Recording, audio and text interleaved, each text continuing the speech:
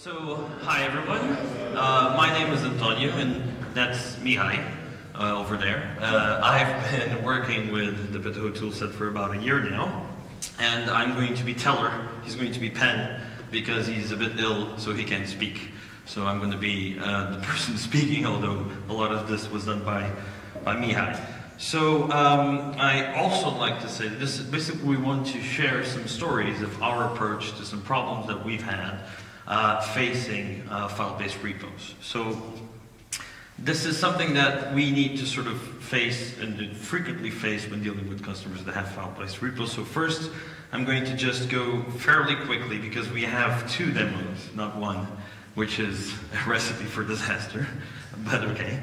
Uh, and um, so I'm just going to go why people would choose file-based repos, then uh, some disadvantages, and one story of how we manage those, and one story of uh, how we try to avoid it, and I hope it's interesting.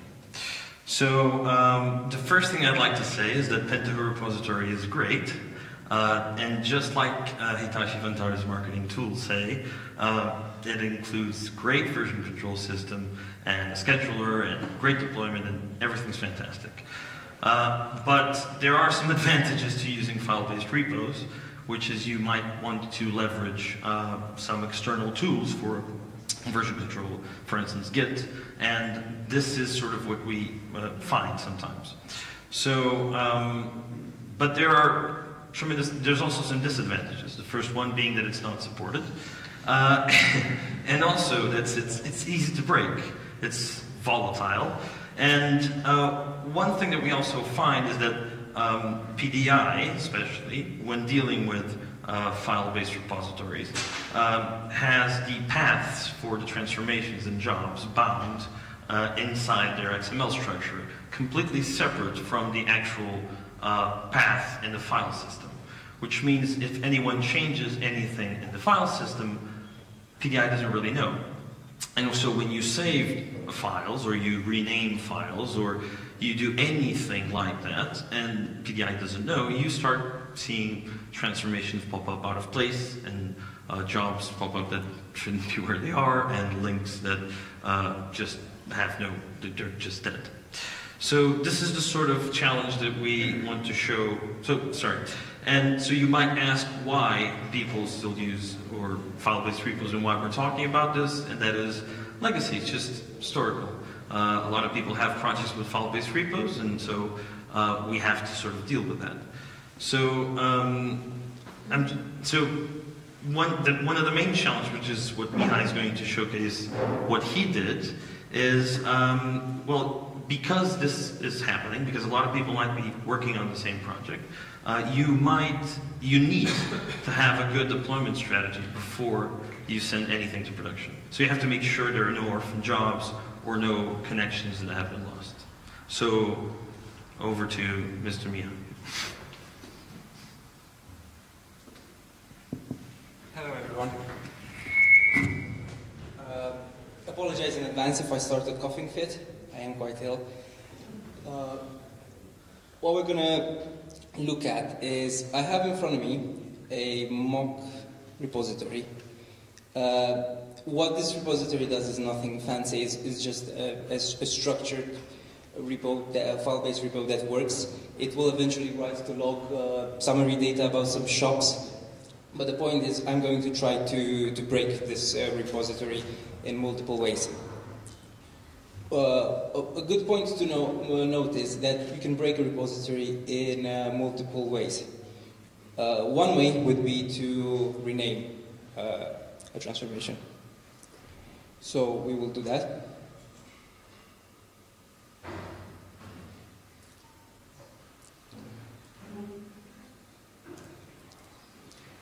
Another uh, possibility would be to move a transformation to a folder.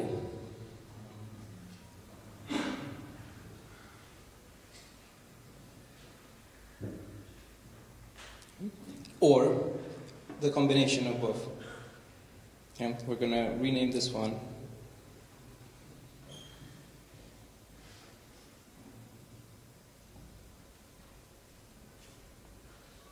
And we're going to make a new folder. tasks, and move it. Okay? So if I go back to my repo now, if I try to run this, I already get an error here. The path here is broken. This is no longer called set variables. This uh, job is calling a transformation that doesn't exist.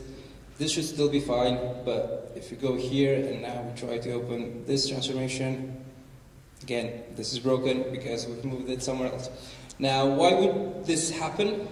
This could happen because you're not paying attention.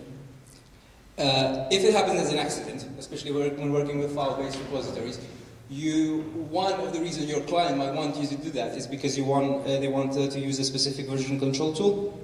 So you could just check uh, check out the, the latest version of your code. If you do this by mistake and you realize you've done it, but you don't know exactly where it is and you don't want to go fix it, you just revert back to the old version of your code. But this is going to happen for uh, this. What, what, we've been working on is trying to fast forward your uh, your repository to correct to, to, to, make the state that I've just made now uh, be the viable one to make it work. So in, in doing that, we, we, have to, we have to look at the metadata of the file. This is, uh, KTRs and KJBs are XML. So what we're actually looking at is we, have cha we're changing on the file system, uh, we're changing the data on the file system, we're changing the names, we're changing the paths, but inside, inside the actual uh, transformation and jobs, the data remain, we still have the old data. As such, we need to find a way of modifying the data inside here. And the, the code I'm going to present essentially pinpoints the, the most important places where the, the switches need to be made. We have inside of a job the name, the directory, similar in a transformation, and also in a job you would have your entries where you want to change the, the, the, name and the, the folder.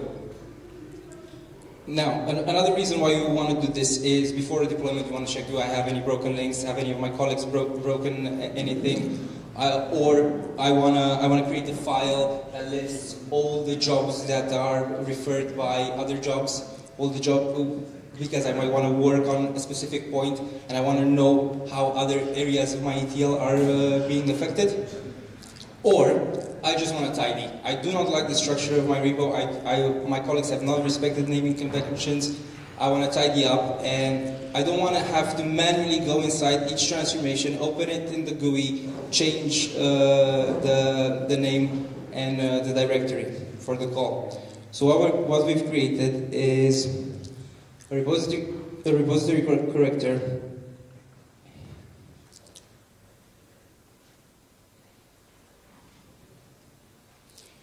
where the first thing we would do is we would pass it some parameters. Um, we'll tell it what's the repository we want to fix. We'll give it the full path, and that becomes the root level of the, the repository. Workspace folder is where some uh, files that tell us of the, the, the changes that have been made will be stored and a boolean for whether we not, whether we want to just stop and see what the differences are, or do you actually want to run code to correct them automatically and make the repository be in a correct state. So the first thing to do is now is to find the truth. The truth now is whatever the file system says. The new names are the, uh, the names that we want, and the the old names uh, and the, the, new uh, directory paths are the directory paths that we want. So we're going to read the folder, we're going to read the root folder, the and for and then we're going to read every single KTR and KJB inside uh, that uh, repository. Why? There is no other way of finding what's changed. We have to read inside the, the, the metadata of the file to, to see the old values. Now, what we would do is we would, we would go and in here, we would split between uh, transformations and uh, jobs. Okay, uh, we are reading everything with the, StAX step, which make which simplifies all our work. Because we want to pinpoint specific locations in the file, we can just use the StAX. The StAX step will tell us our uh, our path, we can just go there, extract the information, compare it to the information from, from the file system. If it's not the same, write it to file. We, we have found a change. We do the same for both jobs and uh, transformations. Also, in the case of jobs, jobs can call other jobs and other transformations. As such, we need to look at the entries and see uh, which entries are now different. Which entries, which transformation that I've, I've this, this will create a list of all the transformations and the jobs that the file is calling. Bear in mind, these are the old values, not the new values. We cannot know the new values as of yet. And again, it dumps that to, to a file. Moving on, in here, we read the difference, uh, the file that uh, keeps the differences between the file system and the, the metadata of the file, and we, we create a, um, an equivalent repository path for the entries inside of the files. Right? We, we now find the old values and the, what they should be for the entries, for what the job is calling. Again, we only want to keep a record of what's broken. Because ultimately, if we choose to repair this, we will have to read again the files. This time we will not use stacks, we will just read the files are as they are. First we'll read the, the, the, the, the files that we just created with the differences. We'll read the file, file with the differences, and then, line by line, it's quite neat that uh, KTRs and KJBs come already formatted for us. Each node is a line. Uh, we will read the file line by line, and when we find the particular, we'll use regex to find the particular location that we want, and we will replace it with the, the new value. Similarly, we do the same when we get to the entries. Okay, so this, what I've just shown you, will change the the, the, in the, the data in the information tab, whereas this will do the same for the, um, the entries. Okay? Same, same logic, read file line by line, and change only where, where needed. Now we're going to run it, and we'll see what happens.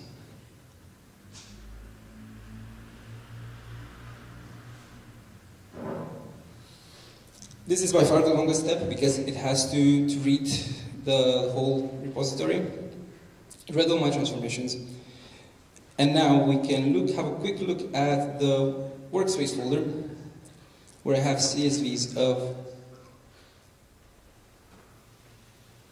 the elements I've told you about. First column is the actual full path in the file system towards the, the file that has, that has been changed. Uh, old name, old uh, location, new name, new location. Yeah, transformation one was the one where we just changed the location. Transformation three, the same structure. In this case, we have both a new name and a new location. And set variables, just the new name. Also the type of the file.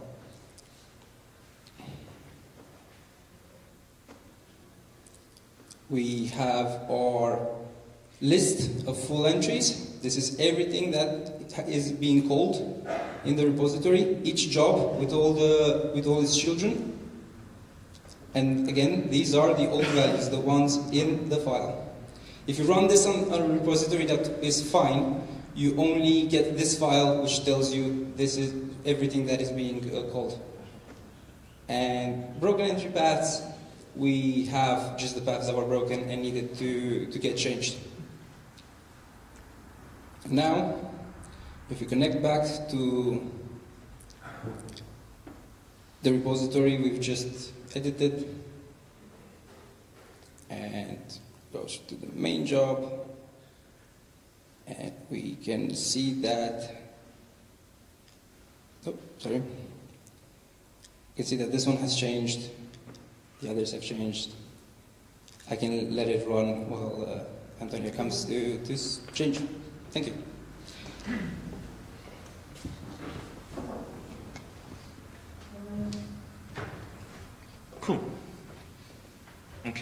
So this is what Mihai did to sort of manage these issues.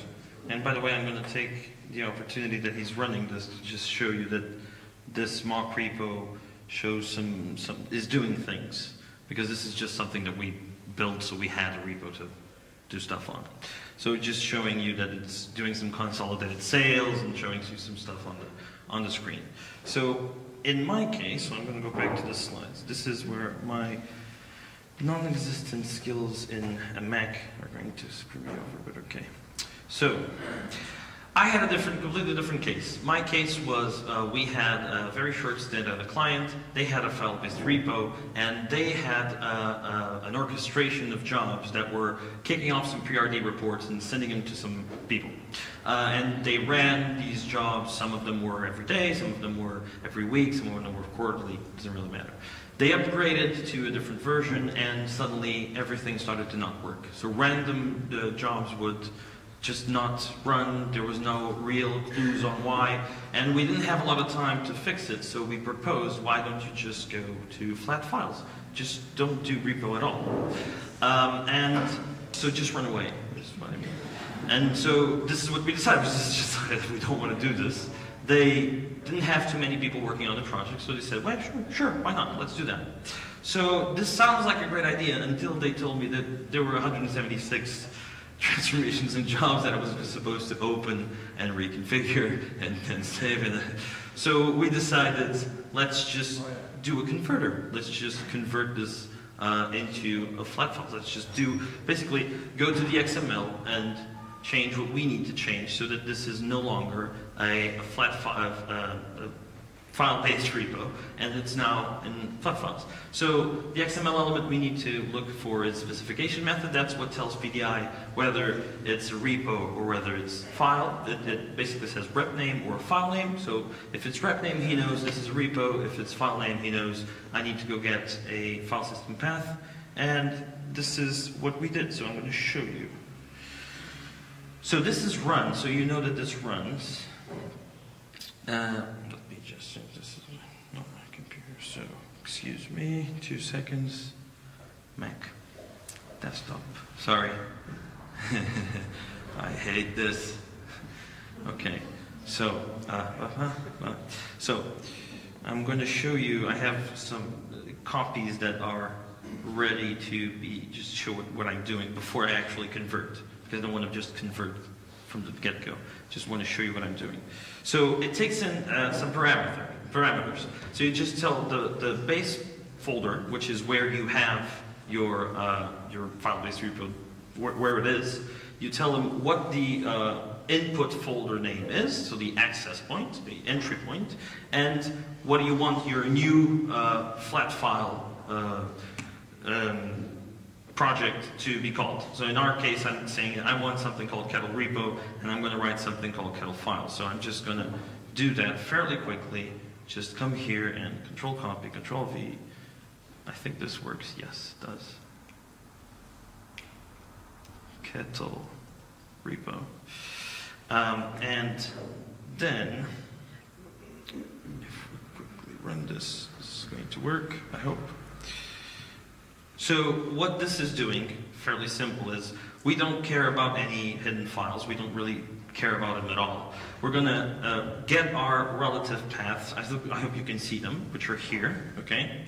Because uh, we need to convert all of these paths into uh, paths in the file system using the internal entry current directory flag. So it's going to be relative to each file's um, uh, path. So we then split into jobs and transformations, and we have uh, our job converter here, trying not to go for too long. And this takes in just main job KJB. It's just, sure, whatever. Am I connected to a repo? Sorry, this is my bad.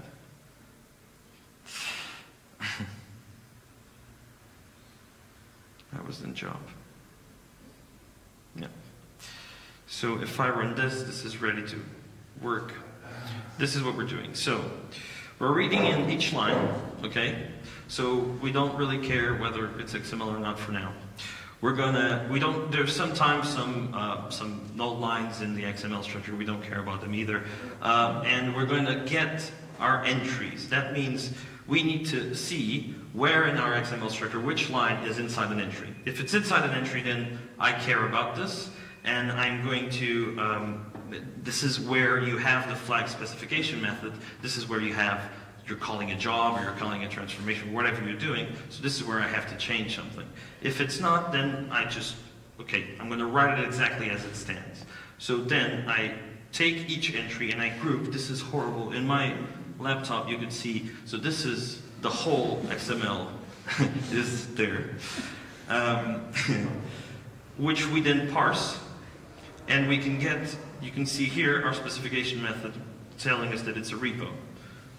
Which means then we can override that XML, get our paths in order, add the row number, the correct row number, so that we know what we're writing, write everything back, sort it back, and then write it out. So, um, because I'm running out of time, I'm just going to show you working, showing the, the thing actually working. So, convert repo. Uh, this will work, yes. And if I do this, and I go back, I now have kettle file, which is a copy of my mock repo. And as you can see, he copied every file, even non-transformation. So if you have some results there, if you have some notes or documentation, it's still there. And if I open this and I run, it should work. So while it runs, you can see that the paths are now based on the position of each one. Uh, I can even try and open this and this example here. I know, sorry. It's, it's over. It's done. So there you go. I'm sorry, I'm running out of time, and that's our presentation. Okay. Thank you.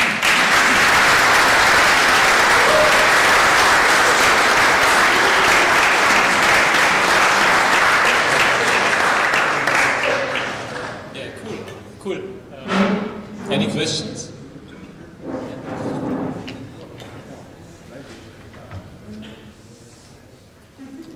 Uh, I don't know which one can answer my question, um, but I was wondering the jobs that had the entries that are simple, but in a transformation you could have also an executor and a sub-transformation. Uh, I was running out of time, so, so I didn't show that. So if I show you that, You can say yes. Sorry. So blocking steps, for instance, list steps. So you have a step, and then inside you have a list of steps. So in transformation is slightly different. So you can't just go, am I inside the step? You have to figure out which level you are in. So we do some scripting to ensure that we are getting the actual step and not the listing of steps that you are waiting for in, for instance, a blocking step. Okay. So I had an example that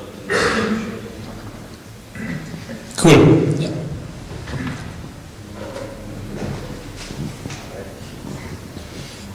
You also take into account that users can copy uh, files in the uh, file-based stuff, and how does it handle in both methods? So you did a rename, but if there is a copy also available, what happens then? Which is the right one? the, the, the process shown will not insert. The process shown will not insert into the, the, the file. So it will show you. You will have to, yeah, will, you will have to break down your process. It will show you that you've added in those files that you, that in the Excel, the CSV files that it's showing you. It will show you that you've added a copy. It will show you what that copy is connected to, but be- because the code that makes the changes only does replaces, it will not introduce that new step into your ETL. You will know you've made a copy, but it will not automatically do it. It's, it will only automatically do changes. Good. Another question? Okay, I have one. Are you sharing this?